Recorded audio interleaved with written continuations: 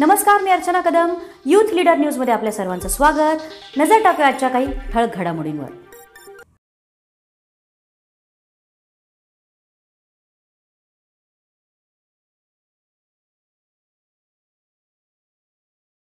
त्या राष्ट्रवादी काँग्रेस पक्षाचे अध्यक्ष आदरणीय पवारसाहेब यांनी अध्यक्षपदाचा राजीनामा दिला.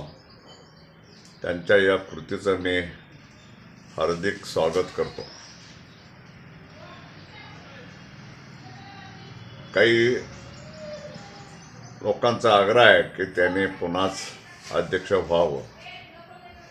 परंतु आग्रह करणाऱ्याने साहेब साहेबांची प्रकृती त्यांचं वय याचा विचार करायला पाहिजे.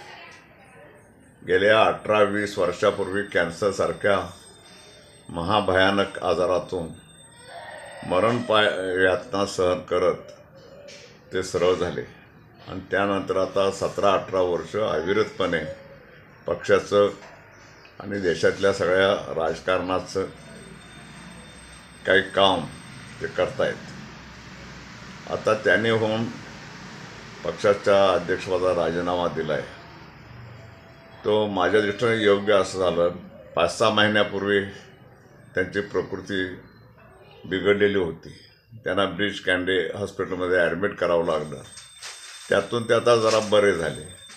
असा जर आपण सारखा त्यांना उपद्रव देत बसलो तर त्यांची प्रकृती त्यांना कितपत साथ देईल हा प्रश्न आहे.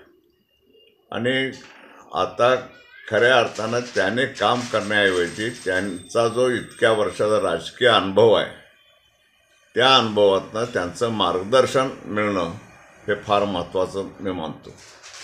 म्हणून त्याने आपल्या पसंतीच्या माणसाला पक्षाचं अध्यक्ष करावं. त्याच्या हाताखाली आठ दहा लोकांची चांगली एक सक्षम कार्यकर्त्यांची टीम द्यावी आणि वेळोवेळी त्यांना प्रबोधन करत राहावं असं मला वाटतं. त्याने पक्षाच्या अध्यक्षपदाचा राजीनामा दिला असला तरी काही राजकारण सोडलेलं नाही किंवा पक्ष सोडलेला नाही. म्हणून राजकारणात आणि पक्षाच्या कामात ते सदैव गुंतून राहणारच आहे परंतु आप त्यांच्या अनुभवात त्यांच्या नजरेखाली नवीन पिढी तयार व्हायला पाहिजे असं माझं स्पष्ट मत आहे. नव्या पिढीनं जबाबदारी घेऊन पक्ष बळकट कसा करायचा हे शिकलं